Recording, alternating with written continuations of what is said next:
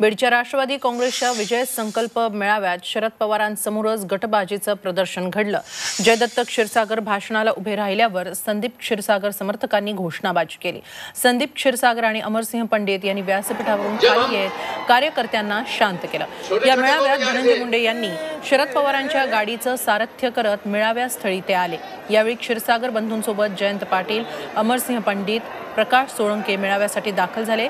यावेळी संदीप क्षीरसागर यांनी जयदत्त क्षीरसागर यांचा आदरपूर्वक उल्लेख केला.